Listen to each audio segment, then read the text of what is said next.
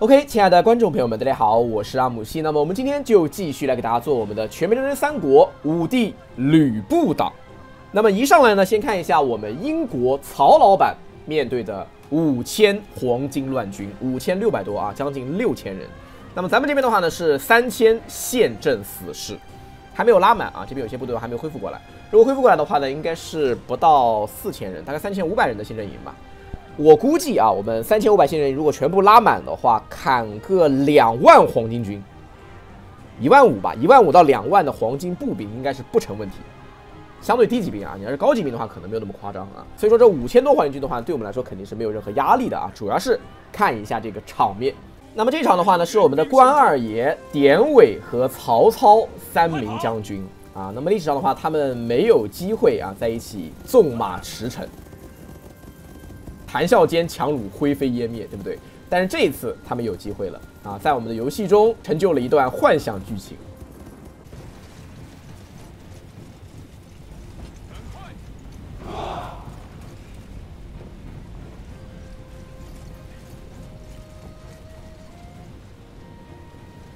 步兵列阵，曹操站在后面统领大军，典韦、关羽二将。站在前方啊，看敌方敢不敢与我单挑。来了，两个一起来，关羽、典韦两个单挑一起来。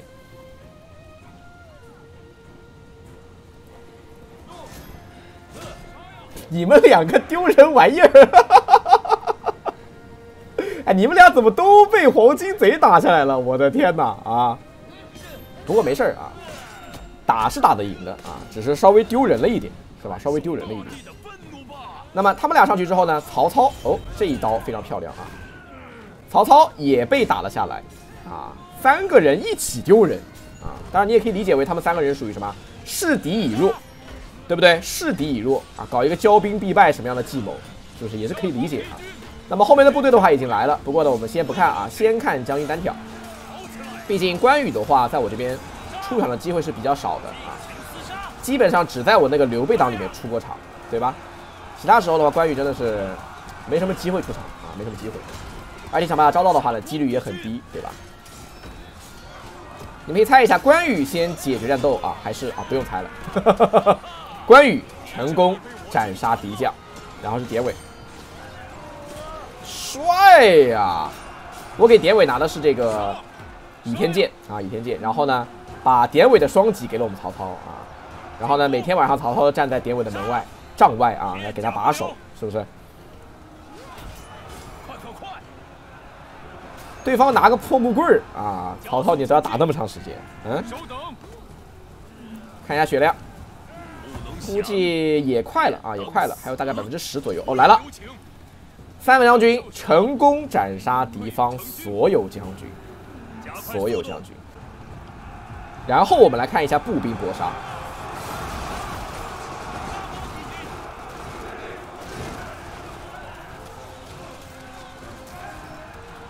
所有的县阵营都和黄金战士们搏杀到了一起，然后呢，我们来看一下这个士气啊。这个时候，敌方将军还没有死啊，刚死啊，刚死！你看这士气，你看这士气，他毕竟只是一个黄金毛手，你们知道吧？啊，这一触即溃。你看这一条，你看这一条，哇，毫无反抗之力，你们知道吧？根本就看不到什么所谓的正面搏杀，最多搏杀个十几秒、二十几秒。全部溃败，全部溃败，太夸张了！我的天哪，也就是一个冲锋。啊，稍微 A 两刀，对方就不行了，就这么夸张。只不过的话呢，你没有骑兵的话呢，就有一个很尴尬的地方，啊。你也追不上他，对吧？你也没有办法这个快速将他击毙，然后你就只能一直追着他跑，然后他归手的话，他老射你。啊，这就是一个不带骑兵的一个结果啊。但是。纯正面搏杀的话，的确是很好看，对吧？看一下关二爷砍弓猎手。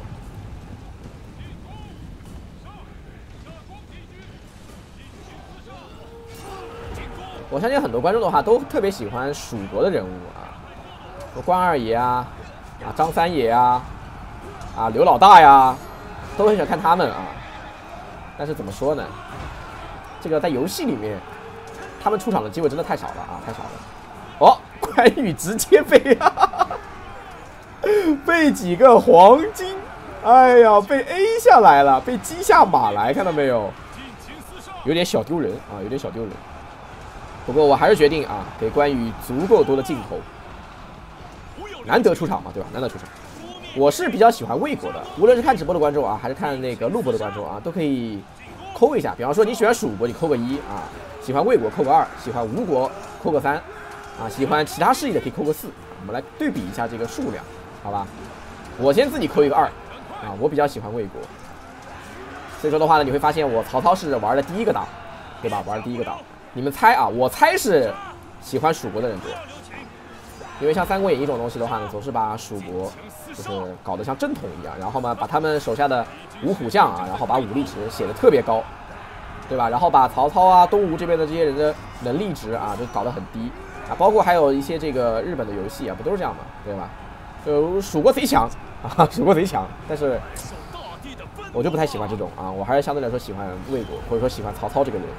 好的，那么这场的话呢，后面也没什么好看的了啊，就是敌人一直跑，然后呢，我们一直追。啊，然后把敌人都追出这个地图，也就结束了。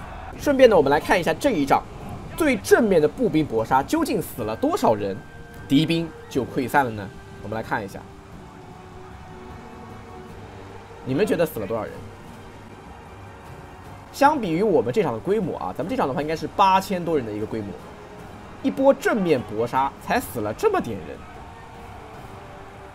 没了。感觉还不如一波剑雨死的人多，因为剑雨碰到的话就半条血嘛，对吧？你这个最多就倒了几百个人，是吧？只能说明敌人的士气的的确确是太低了啊，太低了。我怎么感觉你没有死呢？啊，我感觉你在这儿睡觉，你知道吗？啊，还是特别悠闲的那种。咱们这边两千九百六十七人打对方五千六百四十三人。啊，在一番正面搏杀之后呢，咱们阵亡了六百人，敌方也不过就阵亡了两千人，这个就是没有骑兵的结果啊，因为你追不了逃嘛，所以说敌人的话呢死不了多少人。但是啊，纯步兵的搏杀啊，虽然说搏杀并没有很久，对不对？但是看起来那个场面啊是非常爽的。我们吕布呢正在征讨孙策的路上啊，然后周瑜、周美郎带队就来了。哎呀，呵 呵不用气馁，不用生气。啊，我吕布已经是神仙中人了啊！打你个史诗大捷那是非常正常的一件事情。周瑜有没有 buff 来着？好像有啊，好像有。什么？这么草率的吗？周瑜这么草率的吗？我怎么感觉我吕布招谁都特别容易呢？就算一次招不了，第二次一般也能招上。哎，我就感觉你们这些势力啊，不怀好心。就把各种各样的名将往我这边塞，然后拖垮我的经济。我感觉他们就是这个意思，你知道吧？周瑜随机应变，忠贞不二，足智多谋，宁静致远，幸遭招揽。职责所在，旁边两个全死了啊！周瑜的话呢，加入了我，这就给人一种什么样的感觉呢？周瑜以他的聪明小脑瓜儿啊，发现呢无法挡住我们的武帝吕布，于是对他下属们啊，假称说啊，我们去抵御吕布啊，实际上是让他们送死，然后自己趁势归降于我。哎，对不对？很合理。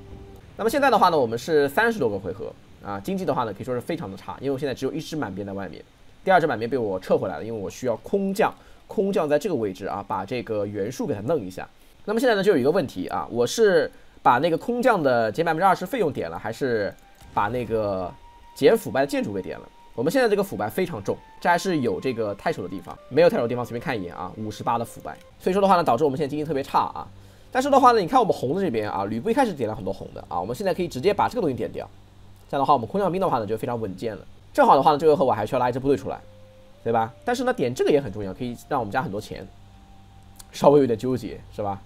我们还是先点这个吧，这个再等再等一年，好吧？点完之后的话呢，高顺这支部队啊，拉出来只要六百七十块钱啊，非常稳健。然后再拉骆俊，此为苍生黎民之天下。再拉我们的荀彧啊，非常稳健，非常省钱啊。打掉周瑜拿到特性的话呢，是启用火箭啊，这个东西没什么用啊，没什么用。打掉郭嘉的话呢，加个移动距离，这个还算有点用，对吧？二零幺年夏季第三十五回合，袁绍与仲弓国，也就是袁术啊，组建了联军。哎呀呀呀呀，兄弟俩啊，结成了联军。凉州国向汉帝国宣战。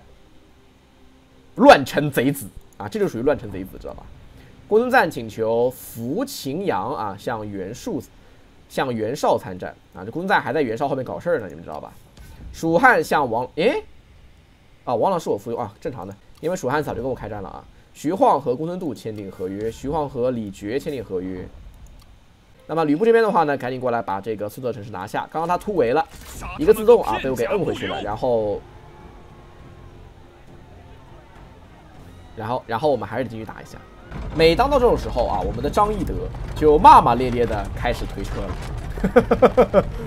没没有办法啊，没有办法，你后来的啊就得多干活，表忠心，是不是？然后吕布和张辽在后面看戏。二零幺年秋收第三十六回合，袁绍与公孙瓒呀，你们俩签订合约了？那我慌了。我跟你们说啊，那我慌了。你们看这一块，刘备两座城，袁绍这一圈儿，然后这里是公孙瓒，整个河北打成了一锅粥。现在你们搞和平了，那我有点慌了呀，是不是？哟，蜀汉将汉帝国纳入帝国，你想干嘛？真的要匡扶大汉吗？二零幺年秋季第三十七回合，严白虎邀请孙策加入同盟，你们俩居然成同盟了？你们在搞笑呢？袁绍和蜀汉也签订合约啦，都搞笑呢？袁绍啊，你的皇帝之位是被刘备夺走的，你跟他和平，你想什么呢？我现在就感觉啊，他们呢就在整个中华大地各个角落疯狂和平，然后准备干我了。而我所在的地方，你们自己看一下，啊，你们看我所在地方，就在整个中华大地最中间的位置，最中间的位置啊，只有东边没什么敌人，反吕同盟组建成功了，你敢信吗？他还真没打我呀，那你没了呀，对吧？那你没哎，袁术有没有 buff 来着？袁术好像有吧，有的啊，有的，呃，什么细作也算有那么点儿用吧。哦，对了，说到细作的话呢，看一下我这边细作有没有进去啊？没进去，那这就很尴尬了啊！不管了，先打袁术，里面一共是三千四百二十三人，袁术本人加上纪灵大将纪灵啊，但是纪灵好像是没有 buff 啊，好像是没有 buff，我们就不派部队了啊，直接夜战，三个人把他们三千四百二十三人干掉，开局直接莽上去，直接干掉纪灵。对手，谁跟你是对手？哦，他们两个自己人是对手，我傻了。一个杨红，一个这个纪灵，来吧，看一下大将纪灵。我纪灵这个衣服还蛮有特点的，你们发现没有？是吧？但是那又如何呢？不过要小心一下我张飞的血。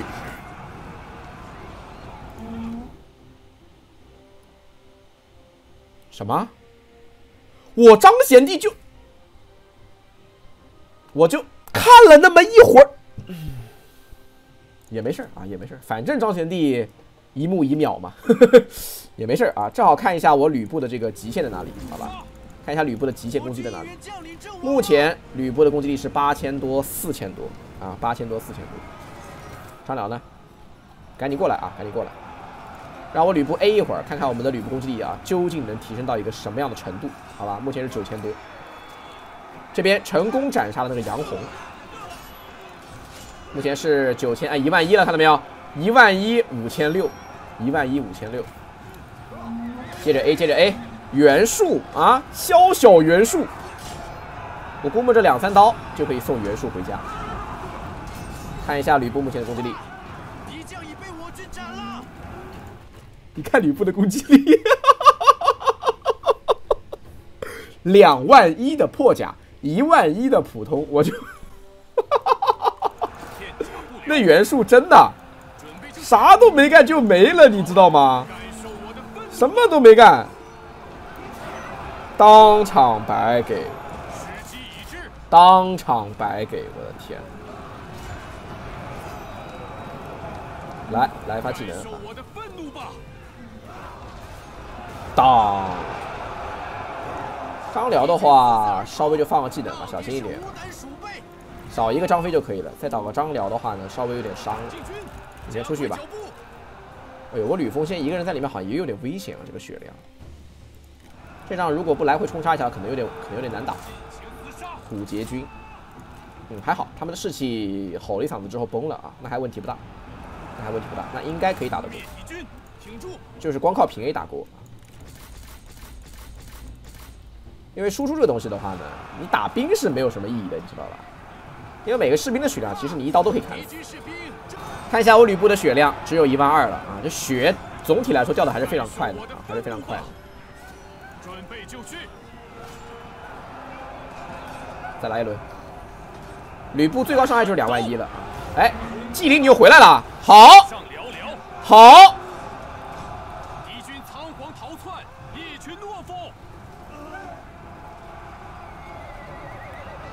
看到那个男人没有？看到那个男人没有？吕布，冲杀过去！冲杀过去！什么都别管，冲杀过去！哎，跑那么快呢？一百。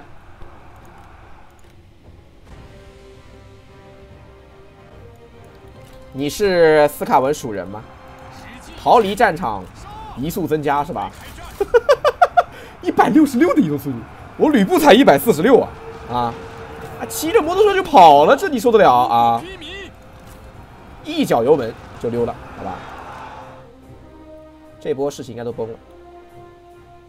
还有，这还还有个骑兵，还有个骑兵，哦，还有一点点毛兵，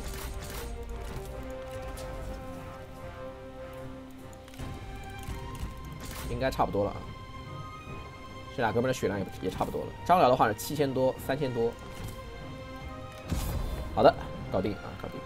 那个跑得太快了，那个纪灵，我的天哪，一百六十六的移动速度。咱们这边的话呢，张飞受了个小伤啊，问题不大。敌人三千四百人啊，阵亡两千人，拿到一匹银马。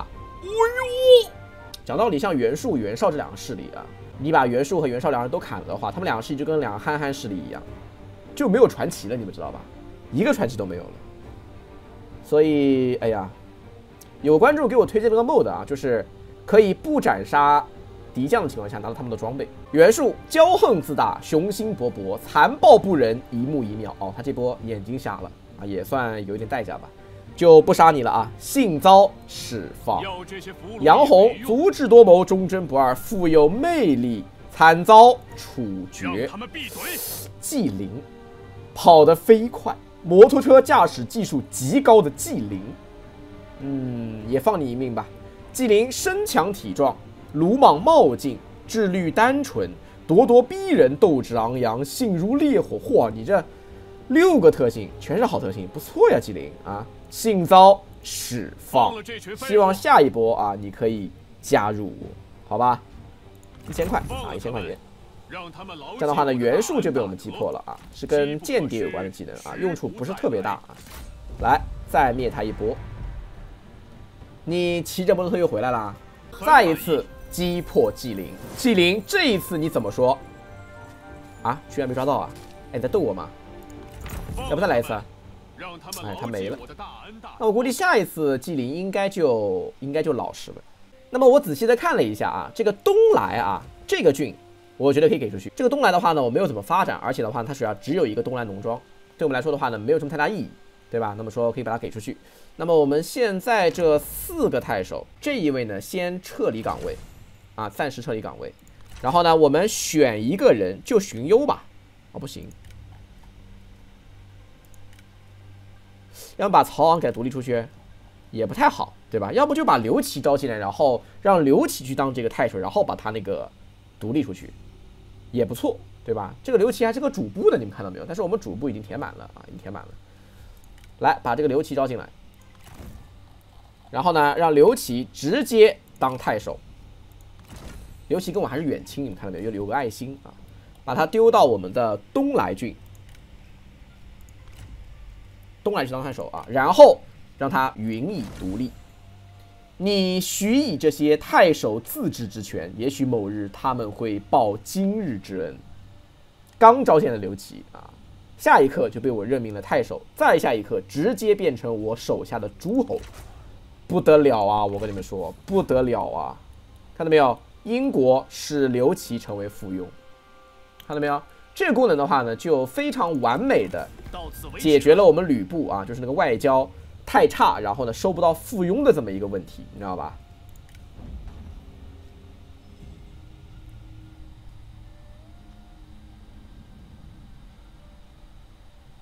我提拔了你，我让你当太守，我让你做我麾下的诸侯，咱们的关系就就就这，就这。我跟你说，这个同意我方独立这一条，至少给我加五百点关系还差不多，是吧？五百点关系差不多，你给加五十？哎呀，你会不会同我啊？允执其中，既无大功又无大错。希望你老老实实的，好吧？正好给他十个粮食啊，把这个点数拉到零点几，正的啊，非常好，搞定。好，准了。你还准了啊？你怎么这么嚣张呢？一个个的。吕布和貂蝉生下了大女儿吕尚金，难道貂蝉实际是姓金？很有可能啊，毕竟貂蝉她不是一个真名嘛，对吧？之前刘琦被我们封出去了，对吧？然后呢，你看这边有一个公孙瓒的部队啊。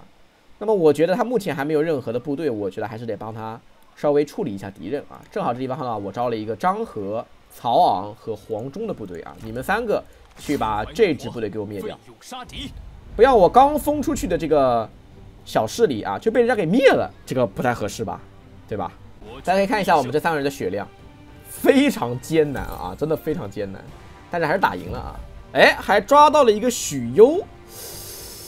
许攸也是个名将啊，而且还是个太守，看到没有？但是我的人实在太多了，养不起了啊，养不起了，还是给你放了吧。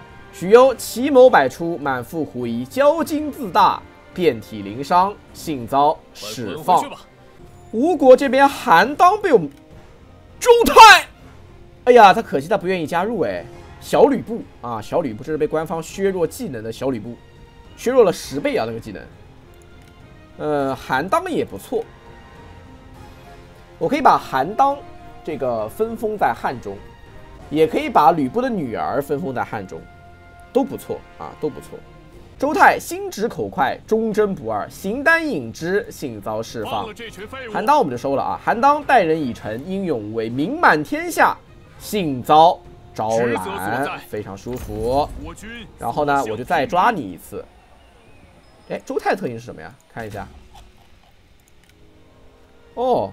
周泰特性的话呢是韧性加一啊，这个没有什么用啊，没有什么用。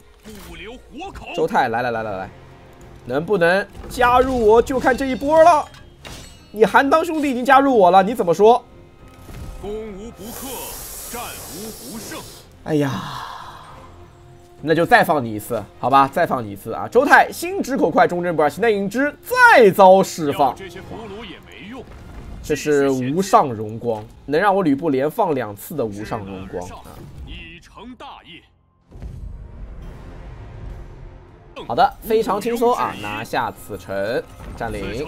那袁术的话呢，就还有两座城啊，那么也就是说，下回合袁术就要被我们灭掉了啊。当然的话，我们可以留他一条狗命啊，给他附庸一下也是可以的。大家看一下，我们现在外交条约里面的话呢，有一个确认皇统。这个东西呢，意思是为了帝国的共同利益而签订的条约。皇帝将拥有发布与任何有关帝国成员和同盟战争命令的最高权利。但是呢，宣战谈判由个人决定，不受帝国管辖。我们点开来，你会发现韩遂，韩遂这个小老弟要怎样愿意成为我们的臣属？意思就是说我这个皇帝有人认了，除了我之外的另外两个皇帝，他们都已经建立了这种帝国臣属了啊。我一般来说的话找不到人承认我啊，现在这个韩遂呀，这个二五仔很合适啊，不是这个帝国忠臣，哎，很合适，他愿意承认我，很好啊，很好。幽冥志愿需不需要帮你做一下？这个张鲁怎么样？哎，可以，可以，可以，张鲁在这儿啊。这个本来不是张鲁啊，是那个刘焉，只不过被我打到李修仁全死完了啊，就张鲁就继位了啊，张鲁就继位了。那么这个好啊，三十八点七，你要不成为附庸算了。哦，不行，承认帝国臣属的话，不能成为附庸。那这样子，这样子，好，好，你不要成为我的什么帝国臣属了，好吧？我不想要你承认我，你就当我的狗就可以了。哎，不对，有一个问题啊，佣兵条约是不能和自己的属下签的，但是呢，我用和我签佣兵条约作为条件，让他成为我的附庸。但是有一个问题，如果说我签了这个条约的话，会不会在二十回合之后这个附庸就没了呢？因为它是以签附庸为这个条件的，而且一般来说，你先点这个的话，右边这个你看你是给不了粮草的，因为这是不是一个正常的或者说普遍的外交协议？这是一个二十回合的佣兵协议。这个我是不是可以理解为二十回合之内我帮你打他，你成为我的附庸；二十回合之后你就独立了？不知道是不是这个意思啊？给你一匹破马加佣兵条约，然后呢让他成为我的附庸，搞定。职业难胜，不得不应。枝叶难胜，不得不应。汉帝国，汉帝国调停媾和。好的，接下来的话呢，我们在这个地方，哎呦，韩遂只有两座城了，哎呦，被马腾打得不要不要的呀，是不是？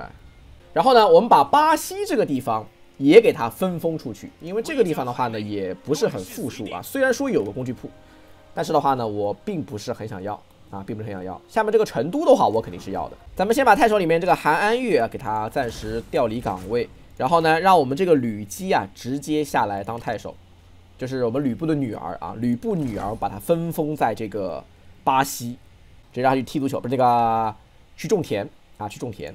好。然后呢，让吕姬直接独立，直接独立，让我们女儿独立了，就这个意思，你们懂吧？哎，这就很舒服。巴西看到没有？好，然后你要怎样签个贸易协定？干嘛？我是你爹，你干嘛呢？这么跟我说话？不认识你爹啦？给吕基五个粮食，加上一个童装啊，零点二，直接签掉。下来的话呢，我们的贸易协定啊，就涨到了七格了。哎，非常好，非常好。只要你的分封国足够多，这贸易协定早晚能拉满。这样的话呢，我们经济的话也就在稳步提升啊。因为我们吕布的话呢，天生带一个统治混乱，太守比人家少一个，对不对？建筑成本比别人加百分之三十，腐败还加百分之二十，你这个经济真的是很大的问题。通过贸易协定来解决，这个是最简单的一个方式。再来看一下我们整体的派系版图啊，我们占据整个中原，庞然大物啊，然后呢？角上面都是我们的附庸国，看到没有？正好四个角上四个附庸国，哎，有点意思啊，有点意思，不错，看起来挺舒服的，感觉像是我们是中央之国，周围都是蛮夷，哎，就这种感觉，你知道吧？然后呢，我们还特意分封了一些国家啊，就让他们去这个牵制啊周围的蛮夷，哎，是不是这感觉？哟，大家看，我们的巴东楚牧场迎来了严白虎的军队。看到这是谁没有？许褚啊！不得了，不得了，不得了，不得了！这是什么？这是行走的 buff，你们知道吗？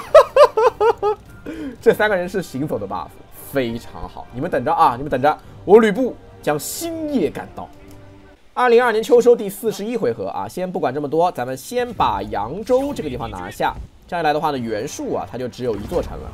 那么一座城的话呢，把袁术收进来，咱们的这个贸易协定啊，应该就可以签满了。然后呢，还可以再把这个行程哦，应该就不用给出去了啊，因为我贸易协定已经满了。先看一下袁术怎么说。真是浪费时间。九点二是吧？九点二加附庸，三十七点八。三十七点八的话，可以收，可以收，但是没有必要。哈，但是没有必要，我还不如直接把你灭了，然后把广陵这个区域啊直接划出去，啊，直接划出去，我再分封一个国家。至于你袁术的话呢，你袁术纪灵直接变成在野将军，后面把你收进来，岂不美哉？岂不美哉？杀他们个片甲不留！直接史诗大捷，九十多抓捕那个纪灵的概率，啊，随便抓，抓不到我把头给你。我跟你说，怎么还不愿意呢？完了，纪灵被我连灭了三次，眼睛瞎了，眼睛瞎了。接着放，接着放啊！看后面能不能以在野将军把纪灵拉进来，好吧？纪灵身强力壮，鲁莽冒进，智虑单纯，咄咄逼人，斗志昂扬，心如烈火，一幕你秒，幸遭三放。要这些俘虏也没用，我就不信我七次还不能把你啊给你弄进来，是不是？重工国就是袁术派系覆灭，张宏细作回来了，没关系啊，你们三个张的话呢，继续给我去搞细作啊。虽然他们三个人从来都没有被别人登拥过，非常尴尬啊，可以说非常尴尬。然后你们三个人直接原地消失。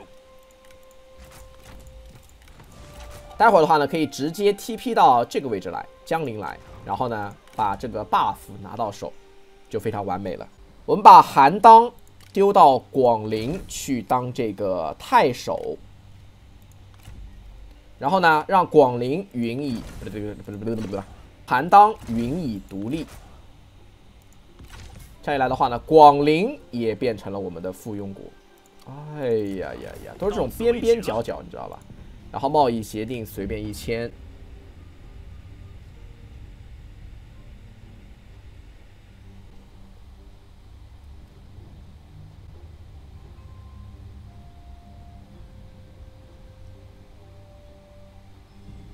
我给了你三座城的一个郡，比其他几个分封的都好，你就给我直接来个三百六战略威胁，至于吗？哎，至于吗？人家怎么都一百二了，你怎么就三百六的？我就看不懂了。你看这个王朗根本就没有战略威胁，看到没有？看来你这个人哦，我知道了，因为他桀骜不驯。哎呀，我为什么要把一个桀骜不驯的人封作诸侯王呢？哎呀，应该看的，不应该选桀骜不驯的人封出去，应该选王朗这种人啊，高风亮节，你知道吧？逆来顺受，非常完美。那就暂时先这样吧。如果他要搞事儿，就直接把他灭了，重新换一个人来当。大家看一下北方，公孙瓒大军、刘备大军、袁绍大军，三路大军南下，你们想干嘛？你们想干嘛啊？我们的刘琦已经有部队了，看到没有？不知道能不能过来帮我一手啊？然后这个地方，咱们骆俊的话呢，现在已经可以踢掉了。不过的话，你看南边，刘瑶大军、穆宝上大军。